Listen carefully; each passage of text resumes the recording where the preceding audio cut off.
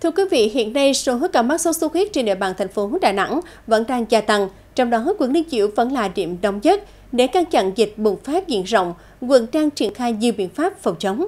Phản ánh của phóng viên thời sự Đà Nẵng TV.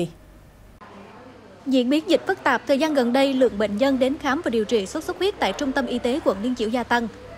Tại khoa nội hiện có hơn 20 bệnh nhân đang điều trị tăng gấp đôi so với thời điểm tháng 5 bệnh nhân có biểu hiện sốt cao đột ngột từ những ngày đầu, cho nên từ ngày 1, ngày 2 của bệnh, bệnh nhân đã có đi khám, thăm khám và được bác sĩ hướng dẫn điều trị.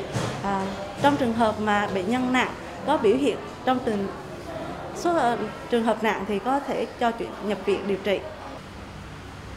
Qua giám sát dịch tễ cho thấy trung bình mỗi tuần quận Liên Chiểu ghi nhận hơn 40 ca mắc sốt xuất huyết. Tổng số ca bệnh từ đầu năm đến nay đã lên đến 690 ca. Các phường Hòa Minh, Hòa Khánh Nam và Hòa Khánh Bắc đều là những điểm nóng nhất.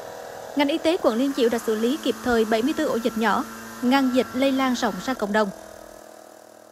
Ổ dịch nhỏ xảy ra nhiều nhất và nguy cơ cao thì à, hòa khu vực à, Hòa Khánh Bắc và Hòa Khánh Nam thì cái số lượng chiếm à, nhiều nhiều hơn và chúng tôi vẫn thực hiện theo cái hướng dẫn là số ca mắc cũng như là cái số vector cái tinh ngưỡng thì chúng tôi ngoài cái xử lý nhỏ thì chúng tôi còn cái ờ, xử lý chủ động à, đối với những vùng nguy cơ cao.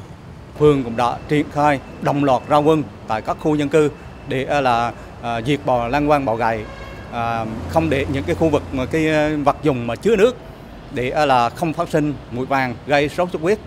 Các khu dân cư cũng đã ra quân đồng loạt và cũng đã xử lý rất tốt những cái ổ dịch, những cái nơi mà trũng thấp Địa bàn rộng, dân cư đông, lại có nhiều khu đất trống và khu nhà trọ ẩm thấp.